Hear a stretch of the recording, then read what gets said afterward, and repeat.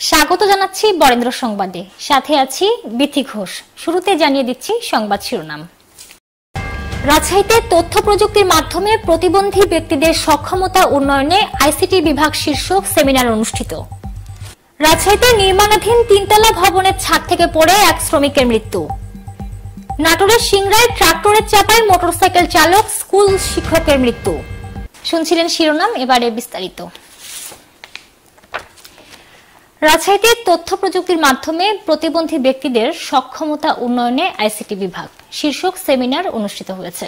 সোমবার সকাল এগারোটায় নগরীর সিএনবি মোড়ে একটি রেস্তোরাঁয় এর আয়োজন করা হয়।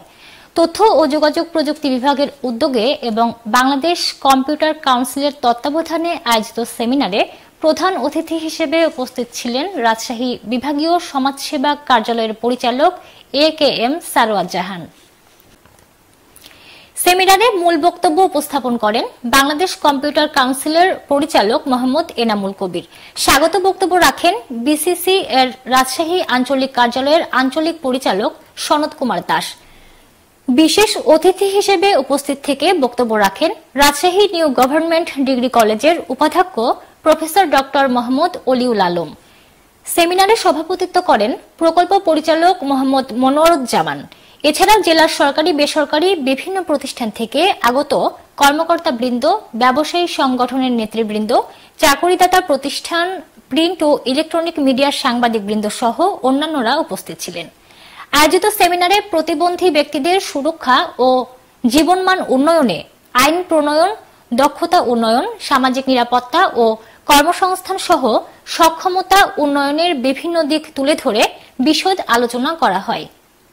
এ সময় জীবন জয়ের গল্প শোনান জেলার বিভিন্ন স্থান থেকে আগত বিশেষ চাহিদা সম্পন্ন ব্যক্তিরা। রাজশাহীর গোদাগাড়িতে ট্রাক, মোটরসাইকেল মুখোমুখি সংঘর্ষে আলী আহসান নামের চোদ্দ বছরের এক যুবক নিহত হয়েছে। সে চাঁপাইনবাবগঞ্জ সদর উপজেলার চর অনুপনগর গ্রামের মুজিবুর রহমানের পুত্র। সোমবার দুপুর আড়াইটার দিকে উপজেলার অভয়া কামারপাড়া ব্রিজের কাছে এই ঘটনা ঘটে। গোদাগাড়ি মডেল থানার ওসি কামরুল ইসলাম দুর্ঘটনার সত্যতা নিশ্চিত করেছেন। তিনি বলেন, মোটরসাইকেল আরোহী আলী আহসান গোদাকাটির দিক থেকে চাঁপাইনবাবগঞ্জের দিকে যাচ্ছিল। এ সময় কামারপাড়া অভয়া ব্রিজের নিকট বিপরীত দিক থেকে আসা একটি ট্রাক মোটরসাইকেলটিকে চাপা দিয়ে পালিয়ে যায়। এতে ঘটনাস্থলেই মোটরসাইকেল চালক আলী আহসান নিহত হন। পরে উপজেলার সুলতানগঞ্জ বাজারে স্থানীয়রা ট্রাক ও হেলপারকে আটক করে।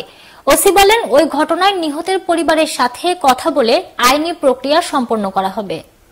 রাজশাহীতে নির্মাণাধীন তিনতলা ভবনের ছাদ থেকে পড়ে ওহিদুজ্জামান নামের এক শ্রমিকের মৃত্যু হয়েছে।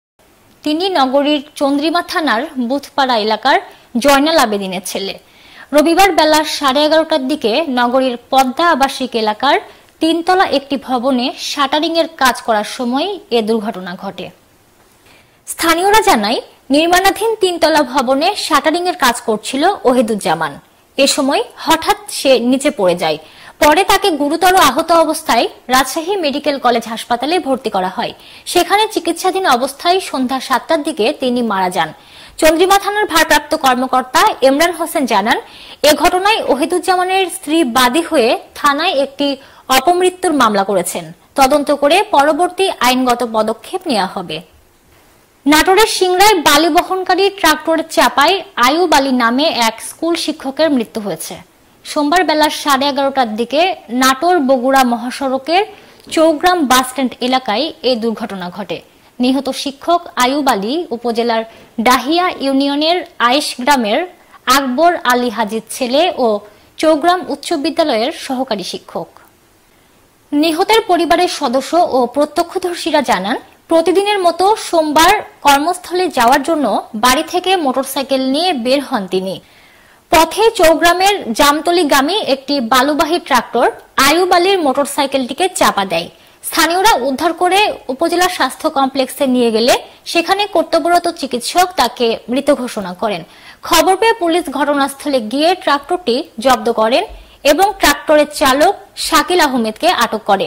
সিংড়া থানার ভারপ্রাপ্ত কর্মকর্তা নুরে আলম সিদ্দিকী ঘটনার সত্যতা নিশ্চিত করে বলেন, ট্রাক্টরের চালককে ট্রাক্টর সহ আটক করা হয়েছে। তবে নিহতের পরিবারের সদস্যদের কোনো অভিযোগ না থাকায় মরদেহটি ময়নাতদন্ত না করেই নিহতের পরিবারের কাছে হস্তান্তর করা হয়েছে। নওগাঁর চোদ্দ ব্যাটালিয়নের উদ্যোগে জেলার সদর, পত্নীতলা, সাপাহার ও ধামরহাট উপজেলার সাংবাদিকদের সাথে সীমান্ত পরিস্থিতি নিয়ে মতবিনিময় সভা অনুষ্ঠিত হয়েছে। সোমবার সকাল দশটায় ব্যাটালিয়ন সদর দপ্তরে এর আয়োজন করা হয়। এ সময় পত্নীতলা চোদ্দ বিজিবি ব্যাটালিয়নের অধিনায়ক, lieutenant colonel Hamid Uddin PSC সহ ঊর্ধ্বতন কর্মকর্তাগণ উপস্থিত ছিলেন। মতবিনিময় সভায় নিরাপদ সীমান্ত, মাদক পাচার রোধ, চোরাচালান প্রতিরোধ, নারী ও শিশু পাচার রোধ, অবৈধ অনুপ্রবেশ রোধে ঐক্যবদ্ধভাবে কাজ করার বিষয়ে আলোচনা করেন অধিনায়ক। বিশেষ করে বলপূর্বক বাস্তুচ্যুত মায়ানমারের নাগরিক অনুপ্রবেশের ব্যাপারে স্থানীয় প্রশাসন সহ জনসাধারণ, গণ্যমান্য ব্যক্তিবর্গ, নির্বাচিত জনপ্রতিনিধি এবং সংশ্লিষ্ট সকলকে সঙ্গে নিয়ে ঐক্যবদ্ধভাবে কাজ করার জন্য সাংবাদিকদের সহযোগিতা কামনা করেন তিনি। মতবিনিময় সভায় অত্যন্ত অন্তরঙ্গ পরিবেশে উপস্থিত সাংবাদিকরা সীমান্ত সংক্রান্ত অপরাধ প্রতিকার সহ অন্যান্য প্রাসঙ্গিক বিষয়ে উন্মুক্ত আলোচনায় অংশগ্রহণ করেন। এ ছিল বরেন্দ্র সংবাদে, সাথে থাকার জন্য ধন্যবাদ।